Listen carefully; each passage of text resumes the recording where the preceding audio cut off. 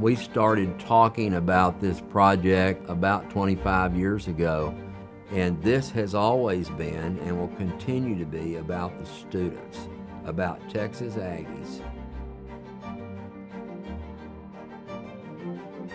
Uh, there are four major rehearsal halls. There's a choral rehearsal hall, there is a jazz rehearsal hall, there's a concert orchestra rehearsal hall, and then there's the Aggie Band Hall. They are all totally soundproof, so you can have all of them going at the same time, something we certainly never had before this facility. When the students come to Texas A&M and they're in choral activities or they're in the Aggie Band or they're in one of our concert bands or jazz bands or, or orchestra, they're doing it because they love music because they want to.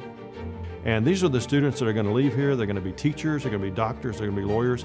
Uh, it's neat having a group of students that's enthusiastic about music and is here because it's what they want to do. I'm, I'm looking forward to everything. You know, this this is just unbelievable. The first time I walked in here was, you know, it was barely starting to be put together, and um, it's almost the finished product. So it's it's quite impressive. I don't I don't think any of us, any of the students here can thank the people who have donated and helped and put in effort for this building. I don't think we'll ever be able to thank them enough for the facility they've given us. The students, just watching them walk in here has been rewarding for the whole thing. I mean, when we first moved over here, it took 30 minutes to get them just to calm down enough that we could actually get the stuff off the truck and get it in the building.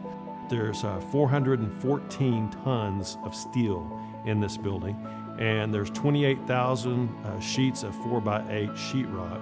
And then as you, all the acoustical panels that we're talking about, there is 42,000 square feet of acoustical panels uh, in the building. So a lot of planning went into making this that, uh, that dream that it could be from a, a sound perspective.